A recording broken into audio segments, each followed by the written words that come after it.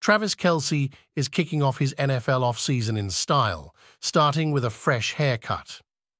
Not one, not two, but three Super Bowl champion. When Travis is tired of his own haircut, he gets the barber, Willis Orengo wrote via Instagram on Saturday, March 2. But all jokes aside, I got the, the big Yeti clean. For all updates about Travis Kelce and Taylor Swift, if you're new in this channel, please like, share and subscribe for latest videos.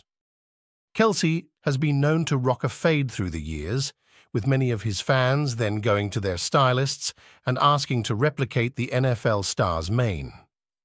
It's absolutely ridiculous, Kelce said during a February press conference ahead of the 2024 Super Bowl.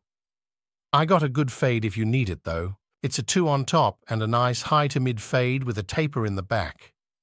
I didn't invent that. I just asked for it.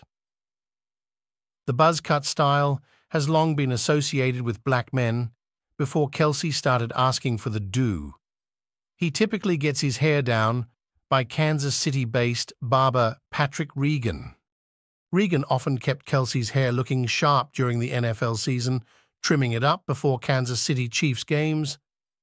In that time, he's also gotten to know Kelce's girlfriend, Taylor Swift.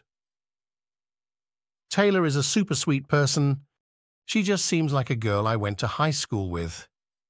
She's a really nice person, always interested in what you're saying. It's been a really cool year. Swift 34 has also influenced Reagan's work with Kelce. I've been cutting Travis for six years. We've been doing the same thing every year, same haircut, Regan said. Now that Taylor's here, everything's changed because she's such an icon. Everything is drastically bigger.